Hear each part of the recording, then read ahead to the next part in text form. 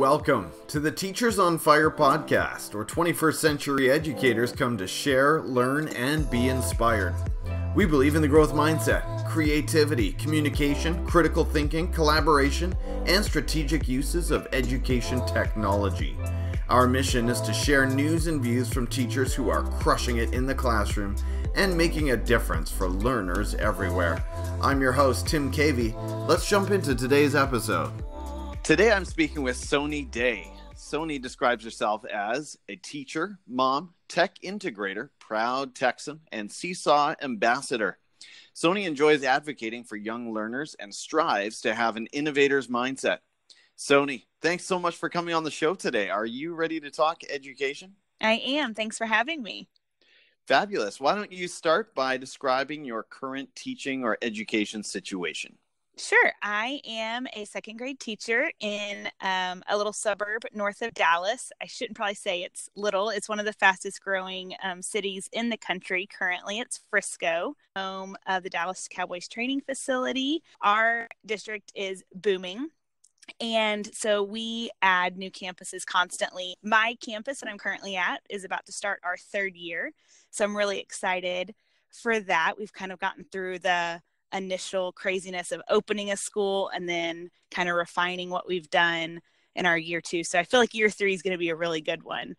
This will be my 10th year teaching next year. I've taught kinder first and second, but it all started about 10 years ago um, in special education, is where I started and spent the first five years there.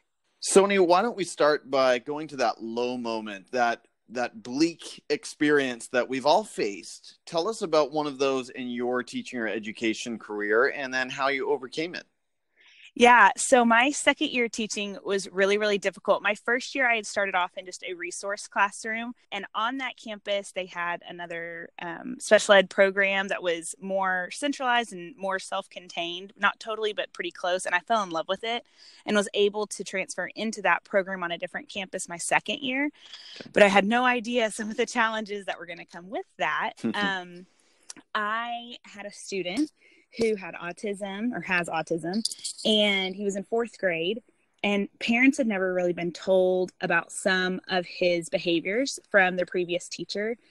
I know that can just be a difficult topic of conversation as it is. Mm-hmm. Um, but him being, you know, however old you are in fourth, what, 10, and that never being a conversation that had been had before, and me not knowing that, I went into that conversation thinking it had been talked about and it hadn't, and it did not go over very well and through a series of just unfortunate events, I guess you could say, um, the parents were pretty upset and they ended up filing grievance against me and against my principal in the school. It went up to the superintendent. And it was just, that's not the name you want to make for yourself as a second year teacher in a growing no. district. um, and so I was able to really see firsthand um, the need for documentation, not just mm. in special education, but in education in general um, it turned out they were claiming things like I had not been communicating with them when in reality it was they didn't want to hear what I was communicating. Hmm. And so everything got taken away. There was, you know, there's nothing on my certificate or, you know, there's no stains on anything. But um, it was difficult. And I ended up having between my principal, my assistant principal, our behavior specialist for my program, my instructional facilitator for the program, and then a special ed director. I was getting observed daily, just as like a like watching me and making sure like I was doing what I was supposed to be doing. And everyone believed I was. It was more of a to go back to the parents and say, listen, Soney's doing what she's supposed to be doing. This is what how we've trained her. And so through that, while having those that many eyes on me was not fun, I got the best hands-on training you right. could have ever asked for because I had people constantly in there saying, Hey, what about have you tried this? And with all my students, not just that one. And so, really, I was able to grow as a teacher, and my kids got things that they didn't normally get. It was really great experience just through a hardship, though. What a story and what an experience to go through, as you said, just in your second year. And you know, yeah. one of the things, one of the things that that I hear in that story is the role of administrators and mentors. You know, I think back to my second year and and many others, and I think often we actually we actually have the opposite experience of almost no observation and very little mentorship. And so I guess the silver lining in that experience is just that you had those constant professional eyes on your work and you had those those conversations around what you were doing. And I'm sure although it was intense and painful and I'm sure you would never want to go through that again um, I'm sure there at the same time there were a few positives that came out in terms of your professional growth. Absolutely. And one thing that I've been able to do as I've been able to mentor teachers since then is be able to say, you know, how much better is that for me to go through my second year mm-hmm. than my 10th or 12th or 20th? Like, I would much rather go through that early on than get, you know, quote, stuck in my ways and then think, well, then how many kids have I messed up throughout the years? You know, I'd much rather learn all those lessons early on than absolutely. On, for sure. Yeah, absolutely. We're going to move on here but you know one one more little point that occurs to me as well. I like your point about documentation and i think uh, just as a note to teachers man email is in my estimation is really such a great way to go. You know we can text parents we can communicate with them in other ways but email has that archival power and I, it sounds Absolutely. like yeah it was it was important in your situation. Yeah Soney, what is it? Moving to a brighter topic, what is it that really excites you about education today? What gets your motor running or ignites your passion in some way? Yeah, I'm really pumped for the social emotional learning component that's really taken, I feel like, education by storm recently. Everywhere I look on Twitter, every blog I read, it's everything is about relationships and pouring into the social and emotional side of kids, which I feel like we've kind of gotten away from. You know, mm-hmm. we I feel like my parents grew up in a generation where you know, dinner was on the table every night and there were great family conversations and parents were in the lives of kids and then there was my generation where parents were involved but it was more I felt like maybe through sports or like different extracurricular activities and now everyone just got their phone in their hand. You know, I'm super guilty of it myself but I love this big push that we're um, having because you know there's so much going on in schools with safety and security. I really feel like it all ties together really well. I came across an article recently um, on EdSurge that talked about um, I think it was Columbia University if I remember correctly, and they were talking about um, schools that have invested in high quality social emotional learning um, instruction have received like an 11% return on their investment in that and i'm not really familiar with exactly what that means but i know that that's got to be pretty good. Yeah.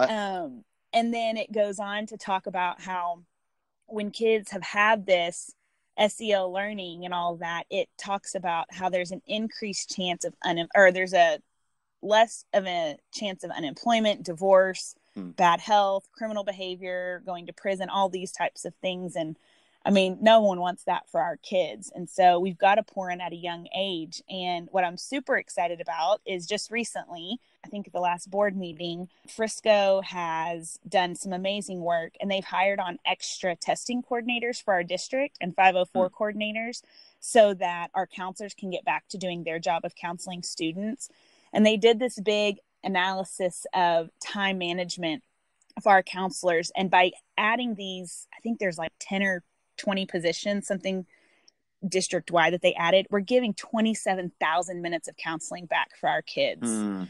And I'm like, mm. man, that is just incredible. And so I got to kind of brag on my district a little bit there because, you know, we we just can't do enough for our kids right now and we've got to be pushing and letting them know they're cared for and that we have high expectations and we're not going to let them completely fail but we're going to let them grapple and that's okay um, but we've got to give them these self regulation strategies and teach them these things because it's not happening so much in the home anymore. And I say that as a mom too, mm-hmm. that I fail on that a lot of the time because I'm doing it all day at school. and I mm-hmm. come home and I'm tired and I don't always want to do it with my own kids.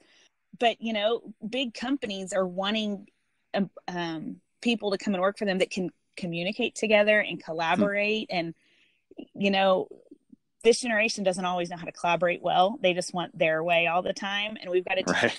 okay for you not to get your way. And there's a respectful way to deal with that. Um, and we can't blow up every time that things don't go the way we wanted them to. There's going to be oopses in life, and you've got to be able to roll with the punches. Um, mm-hmm. And so I'm really excited for this whole push in schools right now. Love it, love it. For anyone active on the in the Twitter sphere, if you're thinking about social emotional learning, keep an eye out for that hashtag SEL.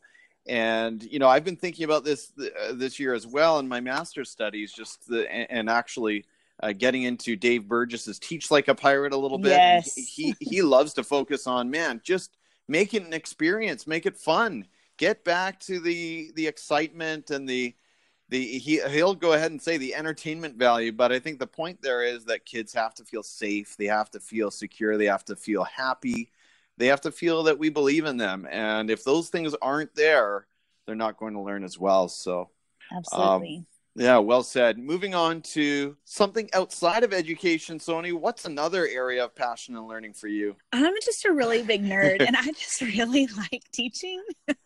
Sure.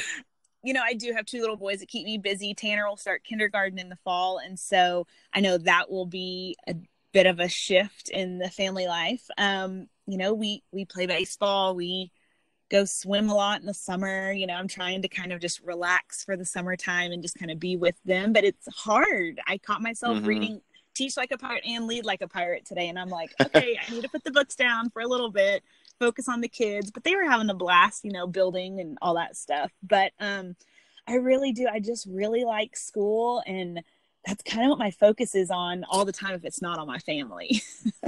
Awesome. Well, that's a relevant, pretty important area that you need to be learning in, and so that's that's quite understandable. Now, on the on the reading, Soney, are you uh, are, are you a soft cover person, or have you moved to the Kindle? You know, I, I I don't like reading on technology. I don't know what it is. Sure. It kind of hurts my eyes a little bit, but I have gotten into the audiobook a little Okay. bit. We've been traveling a little bit this summer and I can't read when I drive because I makes well, not especially when I drive, when I'm riding and my husband's driving. I don't like to read because it makes me nauseous, but I can listen. And so I have Mm. been listening to a few things. So um but I just know I don't like to read on on my phone or on my Kindle or anything like that. It just ugh, I don't know. no, fair enough. I, I love to check in with teachers to sort of hear where they are on that one. Yeah. Next- I like to mark my books up too sometimes. Yes, like if- especially if it's a teacher book, I need to be marking it and highlighting you know, tabbing things and all that. Love it. I, I'm with you there. Next, Soney, share about a personal habit that contributes to your success. This might be at home or at work. What is it? What's one little thing that you do that to really add some fuel to your life?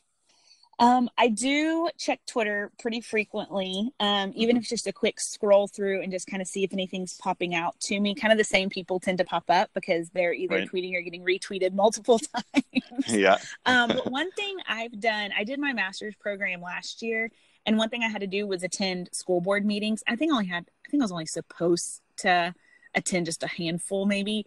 But I've really kind of enjoyed going and kind of seeing that dynamic and kind of hearing more about what's happening from the people who are making the decisions for our district. And so, whether I actually go or I listen in online, I try and kind of keep my ear to the ground there hmm. because there's so because our our district grows so fast. We're adding brand new teachers right and left, and some of these people coming straight out of school don't have a clue because I didn't have a clue and about what's going on and what things mean and what's the trickle down going to be like. And so um, I've been going to more of those to kind of be a little bit more of the voice on campus to let people know, you know, when there's elections coming up, here's where you can find information. Or, you know, if you want to know my opinion, you know, shoot me an email on my personal email account and I'll be sh- glad to give you my opinion. Those types of things, just because I think it's important um, as taxpayers for us to be informed of what's happening in our district. But also, I'm about to be a parent of a kid in this school Mhm. district. So not Mhm. only are things going to be affecting me as a teacher and as a taxpayer, but it's going to be affecting me as a parent. And so I really feel like that's really important to kind of be in tune with that. I think that's great. I think we need more teachers with their their head in that area of policy and governance for sure. We're moving into some rapid fire recommendations now, Soney. So just take a minute, give us a couple of your picks in each of these areas. We'll start at Twitter. Tell us about who we need to be following on Twitter. That's the number one place to plug into a vibrant PLN. So, who do you recommend? Yes. Um, one of my, I have several. And um, one is Todd Nesloney at Tech Ninja Todd. He is awesome. He is a principal in Navasota, Texas, which is kind of the southern part outside of College Station where Texas A&M is. And he's fantastic. He also has authored a couple of books at this point. He's great. Aaron Hogan is a teacher in College Station, and he has a book called Shattering the Teacher Myth that's um, actually in my Amazon cart as we speak. I haven't read it yet, but I've seen blips of it and it looks amazing. Alice Keeler is great. Kasey Bell for all the technology, everything. They're fantastic. I feel like there's constantly people popping up, but those are my those are my big ones. Um, George Kuro- Couros, I can't forget him. Mm. I got to remember mm-hmm. him. He's phenomenal. He so. is. He is. Now, Kasey Bell, is she from Texas as well? Yes. I can't remember what part of Texas she's from, but right. man, there's a lot of good people coming out of Texas That's right now. Right. They're representing us pretty well. Absolutely. Next, uh, point us to an ed tech tool, one that you currently love using in your classroom or maybe your day to day work. Yeah, so I know Seesaw is a big one in the education world, but I have used it religiously, I feel like, for, I don't know, three, four years now. And it is completely transformed how I communicate with my parents I love it because it literally, as soon as my parents connect with it, and I have never had in the four or five years I've been using it, I haven't ever had a parent who didn't connect because even when they come into parent conferences, if they haven't in that October timeframe, I'm like, hey, can I see your phone for a minute? Let me just hook it up for you. And they're like, okay, because half the time they just don't really know what to do or you know haven't made the time to do it and so i'm like if you don't mind i'll just do it and so i use that and you know last year they added the activities tab so I can kind of provide a Google Classroom like feel mm-hmm. um, for my second graders. And I do use Google Classroom as well um, because I know they're going to use it third, fourth, fifth grade um, in our district. But for second grade, I really love this. And the exciting thing is, is next year, our campus has been chosen to pilot um, Seesaw for schools. Our curriculum and instruction department is actually paying for us to do it, which is an amazing thing because they don't pay for technology typically. Um, okay. And so they're really going to be um, bringing this out. And so we'll get to use the um, blogging component of it. And then we'll also be able to put in our essential standards that we feel like every student mm. has to leave our grade level with. We'll be able to track those and parents can see it at all times. Those are the ones we'll come back to over and over and over throughout the year. The issues I used to have with parent communication of like, oh, I didn't see that email, or I can literally send my normal Friday email like I do through my email server and then I can take all those attachments and drop them into Seesaw now and now they have them there like parents can't come and say to me anymore well, I didn't receive it because I can actually see that they saw it on Seesaw. so busted. yeah, I mean, I'm never disrespectful with it, but I can be like, oh, well, I oh I I could have sworn that I saw that you saw it on. And I'm like, oh, well, maybe it was on there. And I'm like, yeah, it was. um, but it's great because I don't have mm-hmm. to, you know, it's just made it so easy now. All right. Moving into books. Soney, tell us about one that you've been reading lately. And, and you already dropped a couple of references just from today. Yeah. Uh, give us a recommendation. Maybe it's one of those or, or another one. Yeah, anything Dave Burgess publishes, I feel like is you can't mm. go wrong with it. Um, I haven't found one so far, so that's always good. But George Couros' innovator mindset is amazing. He's actually going to be our keynote at Convocation in August, and I am so excited to hear him speak. I just can barely wait till August, whatever it is that he's coming. I'm almost done with Teach Like a Pirate. I started Lead Like a Pirate. My um, principal, assistant principal, instructional coach, and myself are all four going to do not necessarily a book study. We're all going to read it here the second half of summer, and then kind of take some of those ideas from those ladies and kind of use it next year as we drive our team leader meetings and stuff and so that'll be really fun. Kasey Bell's Shake Up Learning is mm-hmm. on my nightstand. Um, and then there's multiple that are in my Amazon cart right now, just kind of waiting till I get these finished before I add to the stack. But I did see that on the 20th, which is what, in a couple of days, Jimmy Casas's Culturize is coming to audio. And mm. so I'm super excited about that. So I'm going to take that on vacation with me next week. well, I actually just downloaded it this week. Uh, the, oh. the Culturize book down to my Kindle. Sorry, oh, not nice. on, not on the audiobook side yet, okay. but uh, it's on my Kindle. So I yeah, I'm excited. Yeah, it's it's a good read so far. I'm loving it. Oh, good. we're into podcasts now. So for the commuters among us, give us a couple of podcasts that we should add to our list. Yes. Well, obviously, Teachers on Fire. I am a oh fan. yeah. um, and then I love Ditch That Textbook with Matt Miller, Google Teacher mm-hmm. Tribe, Kids Deserve It. Innovators Mindset actually has one, and they go through seasons. I think they did it like on a YouTube channel, and they converted it. I guess I don't really know, but they're really cool because it's George Couros and Katie Martin, and they have different people that come on and share of their thoughts of the book in different chapters, and so it's really it's a cool conversation even though they've gone through the book several times with different people you get different things out of it each time.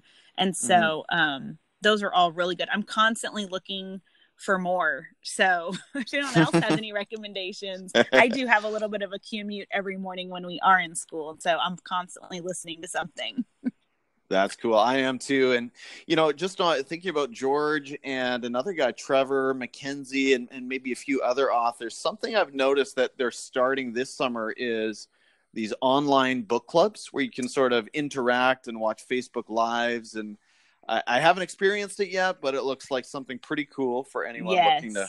to have you seen that th- too? Yeah. I think I saw something on Innovators Mindset. As I, that's okay. the one I think, because someone else had tweeted out about it that's joining – um, our kindergarten team next year and she had posted something on twitter about hey is anyone else doing this i saw this and i'm like you absolutely need to do this you absolutely need to get the book not just because he's coming but because it's an amazing book and you know yeah. you're going to learn so much from it but yeah. um i do need i may might need to go back and kind of look into that a little bit Last question, Soney. You're at the end of your day. You've got no energy left. The kids are in bed. You've planned all your lessons. You've marked all your papers or whatever it is that you've you've got to work on. What is it that you're watching on Netflix right now? What can you recommend for us?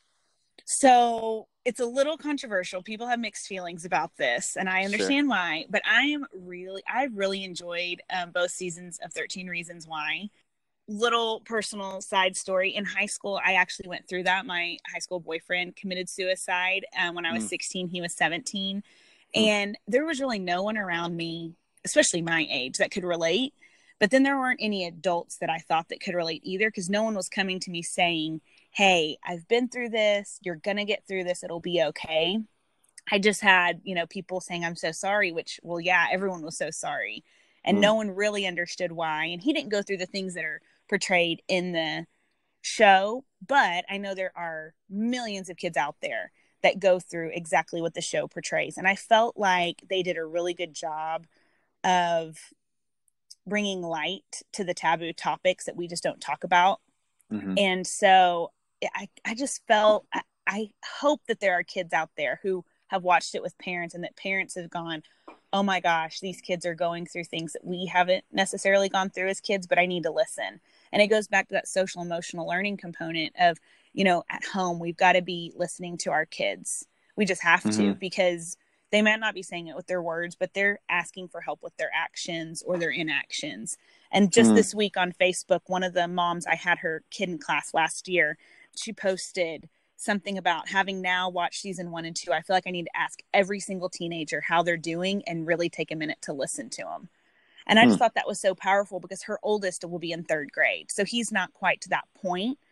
But even when I was in seventh grade, there was a kid who, uh, or I was in eighth grade and he was in seventh grade and he had committed suicide at our school after school one day. And so right after wow. there was that, and then there was my boyfriend. And not long after my high school boyfriend had committed suicide, we had two more later that year. His was November. So later that year, there were two more at my school.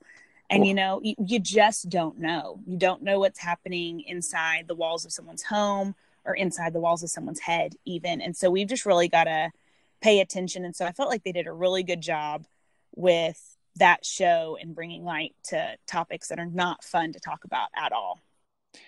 That was a great summary, and you're you're certainly intriguing me. Uh, definitely want to take a closer look at that series. I've been thinking, obviously, we've all been thinking a little bit more about suicide lately with a couple of very high profile suicides, mm-hmm. and I think you know, in a way, it's a good time to. I don't want to say have mental health issues. That's never a, a nice thing, but but we are at a place where hopefully, as a society, we're talking about these things. There's there's less stigma around them, and you know we realize that we're all on a on a journey and depression is is a very real construct, or, or sorry, not a construct, or a very real yeah. form of, uh, of affliction, I guess we could call it. And yeah, I think the more education we're doing, the the more conversations we're having, the better we'll all be. Absolutely. Soney, this has been fantastic. Thank you so much for sharing your insights with us today. What is the best way for people to follow you and get to know your content a little bit better?